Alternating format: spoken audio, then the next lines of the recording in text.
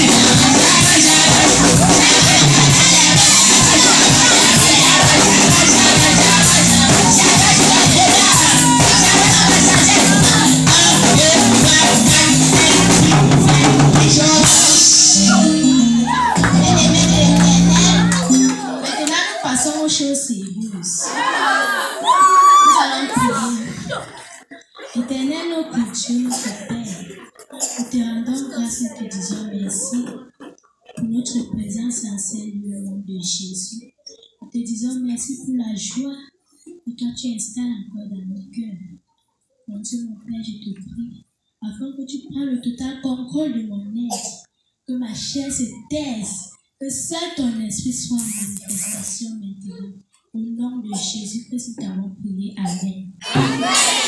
Nous pouvons nous asseoir. Peuple de Dieu, que Dieu vous bénisse. Depuis mardi, nos frères et sœurs nous parlent sur la repentance. Et comme chez Dieu, notre Père, il n'y a pas de hasard, il sait pourquoi il interpelle son peuple, jeunes, adultes, vieillards et enfants, à se repentir.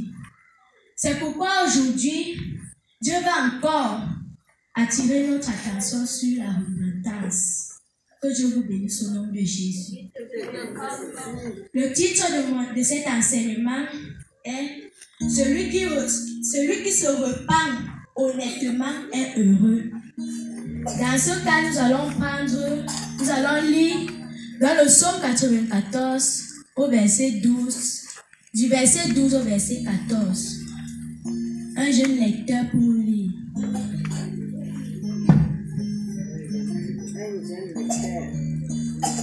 Somme 94, verset 12 à 14. Heureux l'homme que tu châties, ô éternel, que tu inscris par ta loi pour le, pour calmer au jour du malheur, jusqu'à ce que la fosse soit creusée pour le méchant. Verset 14. Car l'Éternel ne délaisse pas son peuple. Il n'abandonne pas son héritage. Que je vous bénisse, peuple de Dieu. Nous voyons au verset 12 que l'homme qui accepte l'instruction de l'Éternel, l'homme qui accepte les châtiments, l'homme qui accepte la réprimande de l'Éternel est heureux. Et bien aimé, la question que je m'en vais vous poser, frères et sœurs, est de savoir si nous acceptons ces instructions.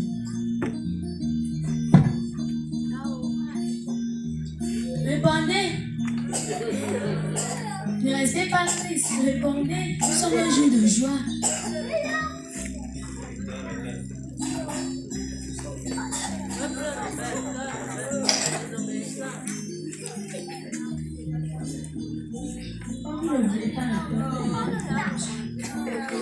Moi, je dirais non. Parce que quand je vois dans ma propre famille et quand je regarde aussi dans la salle les visages malheureux, les gens ne sont pas heureux tout simplement parce qu'ils n'acceptent pas l'instruction de l'Éternel. Ils n'acceptent pas que l'Éternel les châtie. Ils n'acceptent pas que l'Éternel les corrige. C'est pour cela que nous sommes tristes. Or que nous sommes devant normalement être dans la joie. Parce que les enfants de Dieu ne sont pas honnêtes dans leur repentance. Ils, ils écoutent la parole de Dieu. Ils écoutent ses instructions. Mais ils sont incapables de se transformer. Ils sont incapables d'être honnêtes devant l'éternel. Pour dire que, papa, je reconnais. Je reconnais que cet enseignement qu'on vient de me donner, je reconnais que toi tu m'as parlé. Je reconnais, je reconnais. Ils sont incapables, ils ne sont pas honnêtes dans leur repentance, mais ils cherchent toujours à se, à, à, à se justifier. Peuple de Dieu, laissons que l'éternel nous châtie. Laissons que l'éternel nous instruise. Laissons que l'éternel nous corrige, nous réprime. Ne soyons pas rebelles. Ne soyons pas comme les païens. Ne soyons pas comme ceux-là. Peuple de Dieu, restons vraiment dans la parole. Laissons que l'Éternel nous châtie et nous serons véritablement honnêtes dans notre repentance. Puisque ce n'est pas la parole de Dieu que nous recevons. Ce n'est pas la parole de Dieu que nous acceptons, que nous laissons que cette parole entre, s'assied, s'asseye dans notre cœur. C'est par cette parole-là que nous serons honnêtes dans notre repentance. C'est pourquoi nous allons lire dans le psaume 1, du verset 1 au verset 3. Verset 1 à 3. Heureux l'homme qui ne marche pas selon le conseil des méchants, qui ne s'arrête pas sur la voie des pécheurs et qui ne s'assied pas en compagnie des mauvais, mais qui couvre son plaisir dans la loi de l'Éternel et qui la médite jour et nuit. Verset 3. Il est comme un arbre planté près d'un courant d'eau qui donne son fruit en sa saison et dont le feuillage ne se flétrit point. Tout ce qu'il fait lui réussit. Que je vous bénisse. Nous voyons dans le psaume 1 comment l'homme qui accepte le châtiment, l'homme qui accepte l'instruction de l'éternel est heureux. Et nous, je peux dire que nous ne sommes pas heureux. Pourquoi Parce que nous marchons selon le conseil des méchants. Nous ne pouvons pas bien nous repentir. Nous ne pouvons pas être honnêtes dans notre repentance. Parce que nous, nous marchons selon le conseil des méchants. Or que l'Éternel nous dit dans sa parole que nous ne devons pas nous mettre avec des infidèles sous un joug étranger. L'Éternel dit dans le livre de Proverbes que mon fils, si des pécheurs veulent te séduire, ne te laisse pas gagner. Mais nous voyons les enfants de Dieu, les chrétiens, les croyants qui disent être nés de nouveau. Ils marchent toujours selon le conseil des méchants. Ils laissent que les païens, les hommes du monde les séduisent. Qu'on va dire à celui-là, on part, on part dans les boîtes, on part, on part prendre une. Le gars va aussi suivre comme le mouton. Or que il est sans et en oubliant, en oubliant qu'il a confessé Jésus, il va aussi suivre comme le mouton. Il va aussi suivre comme euh, les bœufs qui partent à la boucherie, sans connaître que c'est là-bas, sans connaître que c'est là-bas qu'on va, on va, va arracher leur gloire, sans connaître que c'est là-bas qu'on va prendre leur vie. Ils sont incapables de dire non. Je ne pars pas parce que j'ai confessé Jésus. Je ne pars pas parce que je, je souhaite la vie heureuse que Dieu veut pour ses enfants. Je ne pars pas. Parce que j'ai confessé Jésus, je veux être honnête. Si je pars encore, c'est encore pour m'enfoncer. Mais ils sont là, ils partent seulement. On dit encore au, verset 1, Dieu continue à nous dire quoi? Que ceux qui m'a heureux, s'il vous plaît, continuez un peu. Heureux l'homme qui ne marche pas selon le conseil des méchants, qui ne s'arrête pas sur la voie des pécheurs et qui ne s'assied pas en compagnie des moqueurs. Qui ne s'assied pas sur la voie des quoi? Des moqueurs. Qui ne s'arrête pas sur la voie des pécheurs. des pécheurs. S'arrêter sur la voie des pécheurs. Mais celui-là, il va marcher quelque part comme les, les, les, les filles d'aujourd'hui. Quand on va lui, on va lui siffler là-bas, oh, viens un peu. Elle aussi, elle va aussi partir comme si. Oublier, oubliant plutôt, en oubliant que non, j'ai donné ma vie au Seigneur.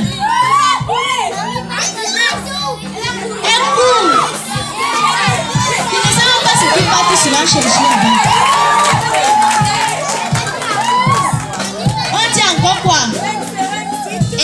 S'assied pas en compagnie des moqueurs. La parole de Dieu nous dit quoi? Les mauvaises compagnies corrompent les bonnes mœurs. Qui connaît le verset là? C'est dans quelle référence? 1 Corinthiens 15, 33.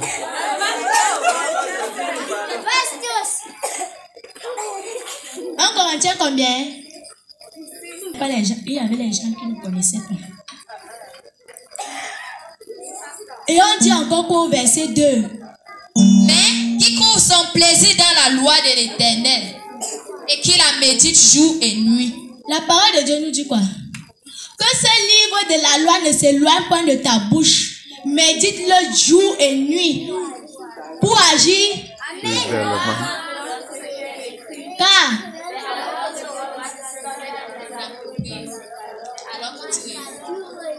Mais les gens oublient la parole de Dieu quand ils sont dans le monde. Ils oublient totalement la parole de Dieu. La parole de Dieu nous dit ne nous conformons pas au siècle présent. Mais ils oublient que la parole de Dieu nous dit que car c'est alors que tu auras du succès dans tes entreprises. C'est alors que tu réussiras.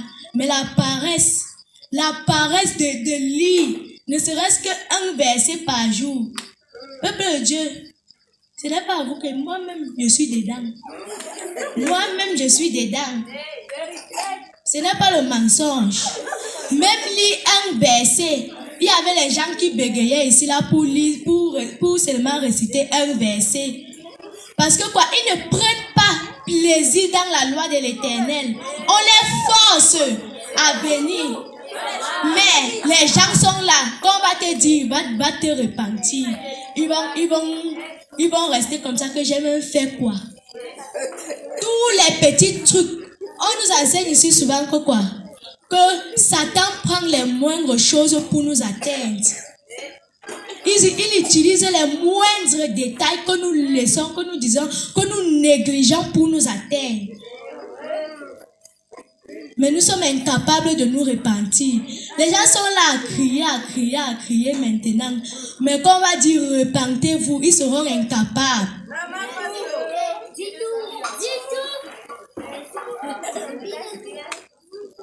Donc prenons plaisir dans la loi de l'éternel. Prenons plaisir pour être heureux. Nous continuons. Verset 3. Il est comme un arbre planté près d'un courant d'eau qui donne son fruit en sa saison, et dont le feuillage ne se flétrit point, tout ce qu'il fait lui réussit. Héritiers, jeunes, parents, acceptons la vie heureuse que l'Éternel souhaite pour nous. Cette vie heureuse-là, ce n'est pas le blabla. Vous avez vu les gens qui roulent dans les voitures là, non? Les gens qui marchent avec les vestes. Nous devons être ceux-là qui, qui roulent dans les voitures. Quand maintenant, quand on voit peut-être notre pasteur en route, nous sommes incapables de dire que homme de Dieu, viens un peu, viens monter, on part. Parce que quoi? Nous sommes incapables de nous repentir. Nous sommes incapables, nous n'acceptons pas l'instruction de l'éternel. Et maintenant, nous vivons dans la pauvreté. Nous vivons dans la misère. Oh, que Dieu souhaite une vie heureuse pour nous. Seulement si nous, nous mettons en pratique sa parole, si nous acceptons ses instructions, si nous, nous acceptons les châtiments, les réprimandes, les corrections de l'éternel, nous serons heureux. Nous allons vivre une vie heureuse. C'est pourquoi demeurons, demeurons obéissants, obéissants à la parole de Dieu. Demeurons fermes ferme à la parole de Dieu pour mieux nous repentir. Pour mieux nous repentir. Madion, on nous a enseigné dans le livre de Timothée. On a dit que Timothée était honnête. Il n'est pas devenu honnête parce que il a entendu, parce qu'il a, il a étudié la parole de Dieu. Parce qu'il s'est réfugié dans la parole de Dieu pour, pour reconnaître que non, ce que je fais, il a, il a utilisé la parole de Dieu pour être honnête, pour réaliser que non, ce que je commets ici dehors là, ce n'est pas bon. Donc, frères et sœurs, chers parents, chers, chers camarades, laissons que l'Éternel nous instruise. Laissons que l'Éternel nous instruise. Parce que c'est pas sur ces instructions que nous, nous serons capable de vraiment nous repentir, capable d'être honnête dans notre repentance. Comme le verset 3 nous a dit. Il est comme un arbre planté près d'un courant d'eau qui donne son fruit en sa saison et dont le feuillage ne se flétrit point. Tout ce qu'il fait lui réussit. Voilà cette vie heureuse que l'Éternel souhaite pour nous. Il est un arbre, il est un arbre planté près d'un courant d'eau. L'arbre planté près d'un courant d'eau, c'est quoi? Ce n'est pas celui-là qui part de maison en maison pour demander pardon, je veux la tomate. Pardon. Pardon, je veux le riz. Pardon, je veux ceci. Il est planté près d'un courant d'eau. Donc, ça veut dire quoi? Que lorsqu'il veut quelque chose, il prie seulement son Dieu. L'éternel lui donne. Parce qu'il met la parole de Dieu en pratique. Parce qu'il il accepte l'instruction de l'éternel. Ça veut dire que lorsqu'il va seulement demander, Dieu va seulement dire que non, mon enfant, si il est obéissant, il est honnête lorsqu'il fait sa repentance, je ne peux pas lui refuser ce qu'il demande, ce qu'il me demande. Il va te donner lorsque tu obéis, lorsque tu laisses que l'éternel t'instruise, t'instruise. Que Dieu vous bénisse. Nous allons encore lire dans le livre de Job, Job chapitre 5, versets 24 à 27. Job 5, verset 24 à 27. Tu jouiras du bonheur sous ta tente. Tu recouvreras tes troupeaux au complet. Tu verras ta postérité s'accroître et tes rejetons se multiplier comme l'herbe des champs. Tu ancreras au sépulcre dans la vieillesse comme on emporte une gerbe en son temps. Voilà ce que nous avons reconnu, voilà ce qui est à toi d'encre et de maigre à profit. Je lis encore le verset 27. Verset 27. Voilà ce que tu, voilà ce que nous avons reconnu, Voilà ce qui est. À toi d'entendre et de mettre à profit. C'est une suite, comme le verset 3 nous disait. Tu jouiras du bonheur sous ta tente. Voilà la vie heureuse que l'Éternel souhaite pour nous. Tu vivras du bonheur sous ta tente. Tu recouvriras tes troupeaux au complet. Ta postérité, ça croît. Ta postérité, ça croît. Nous avons vu ici dehors parce que les parents n'ont pas bien édu- éduqué les enfants. Les enfants sont devenus les voleurs, les nangaboko dehors, les voyous. Tout ça parce que quoi? Ils n'ont pas, ils n'ont pas appris à leur enfant l'instruction de l'éternel. Voilà cette vie heureuse que l'éternel souhaite pour nous. Au verset 26, on dit quoi? Tu ancreras au sépulcre dans la vieillesse, comme on emporte une gerbe en son temps. On a remarqué ici là que, on nous avait enseigné ici là que Dieu, Dieu avait dit quoi? Que les, ses enfants doivent vivre au moins, il sait, 100 combien d'années oh. Et maintenant, on nous avait, on avait lu dans le livre si c'est. hmm, c'est Esaïe. On avait lu dans le livre d'Esaïe où on disait que maintenant les hommes vivent seulement auprès de 70 ans et 80 ans. Parce que quoi? Ils ne, ils ne veulent pas. Ils, ont, ils refusent l'instruction de l'éternel. On avait dit que la parole de Dieu s'adresse aux, aux, euh, enfants de Dieu. Donc ce sont les enfants de Dieu là qui, qui sont ceux-là qui n'acceptent pas l'instruction. Ce sont les enfants de Dieu qui sont ceux-là qui n'acceptent pas les réprimandes de l'éternel. Et c'est pour, cela qu'ils ne vivent pas longtemps.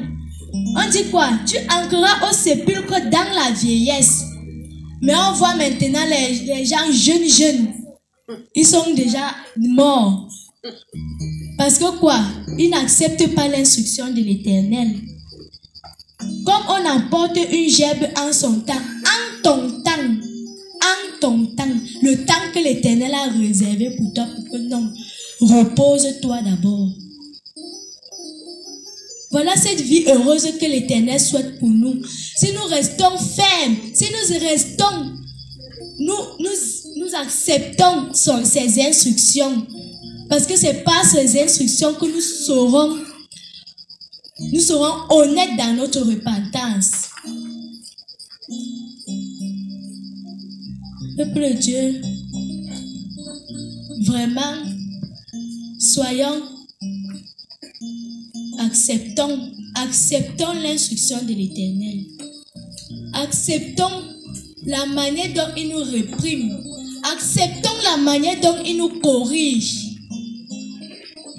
pour être heureux. Et soyons honnêtes. Honnêtes lorsque l'Éternel te réprime. Sois honnête dans ta repentance. Ne cherche pas à dire que non, je ne suis pas venu à l'église parce que parce que je devais, faire ceci, parce que il y je devais préparer. Ne cherche pas les raisons. Repends-toi devant ton Dieu honnêtement. Ne, ne cherche pas à te justifier. Repends-toi. Repends-toi. C'est alors que tu auras cette vie heureuse que l'Éternel souhaite pour nous. Est-ce que quelqu'un a été béni ce soir? Est-ce que quelqu'un a été béni ce soir?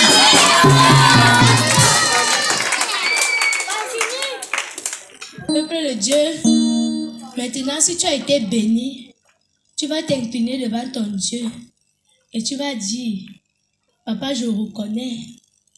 Je reconnais que je n'ai pas accepté tes instructions. Je reconnais que j'ai été rebelle. Rebelle. Lorsque tu m'as corrigé. Je reconnais. On nous, a, enseigné mardi que quoi? Dans le livre de Proverbes 28 au verset 13. Que celui qui cache ses transgressions ne prospère point. Mais celui qui les avoue, aime, et les, qui les avoue et les délaisse obtient miséricorde. Maintenant, tu vas t'incliner devant ton Dieu et tu vas avouer. Tu vas reconnaître que papa, je n'ai pas, je n'ai pas accepté tes instructions. Papa, je viens être honnête. Je viens être honnête dans cette repentance.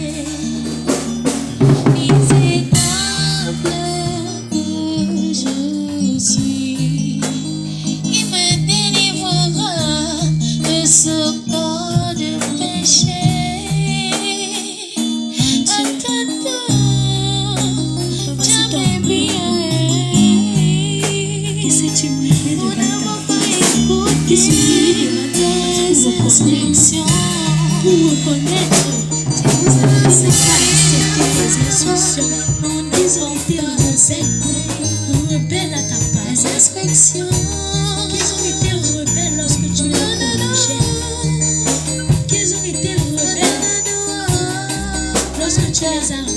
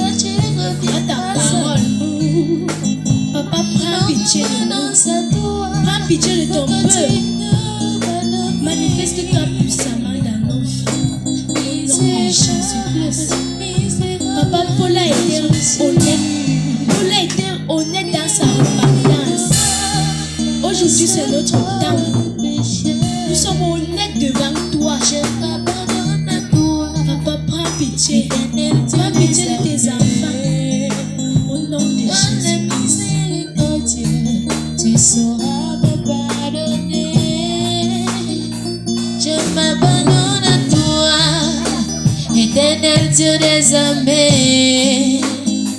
Par la miséricorde, tu sauras me pardonner.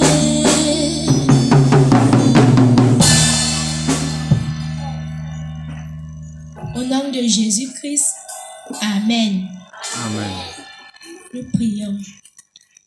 Éternel, notre Dieu, notre Père, nous te rendons grâce, nous te disons merci. Parce que tu nous as encore donné ta parole en ce jour. Tu nous as permis de reconnaître en ce jour que nous n'acceptons pas tes instructions. Merci mon Dieu, mon Père, parce que c'est toi qui pardonnes ton peuple. C'est toi qui pardonnes tes enfants, afin que, comme ils sont entrés en ces lieux, qu'ils ne ressortent pas les mêmes créatures. Merci, Papa, parce que tu prends le total contrôle de nos vies et que cet enseignement soit scellé dans nos cœurs au nom de Jésus-Christ. Merci, mon Dieu, mon Père, reçois toute la gloire et l'honneur. Au puissant nom de ton Fils Jésus-Christ, nous t'avons prié. Amen.